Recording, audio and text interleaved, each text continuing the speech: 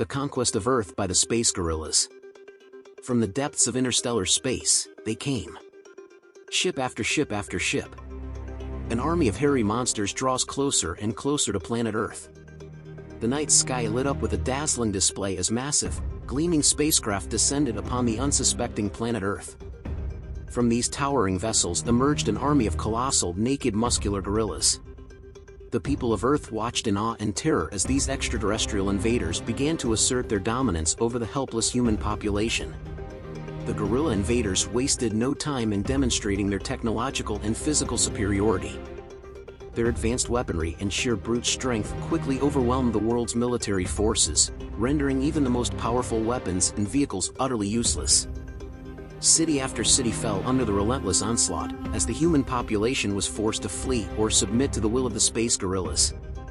With each passing day, the gorillas tightened their grip on the planet, subjugating the human race and forcing them into a state of servitude. Vast swathes of the population were rounded up and herded into labor camps, where they were forced to toil endlessly to serve the needs of their new overlords.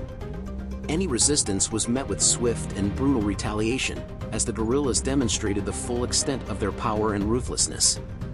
Under the rule of the space gorillas, Earth underwent a dramatic transformation. The cities were remodeled to suit the needs and aesthetics of the invaders, with towering, organic-looking structures replacing the familiar skylines. The natural environment was also reshaped, as the gorillas terraformed the planet to better suit their own biology and preferences. As the years passed, the human race was reduced to a mere shadow of its former self, relegated to a subservient role in the New World Order.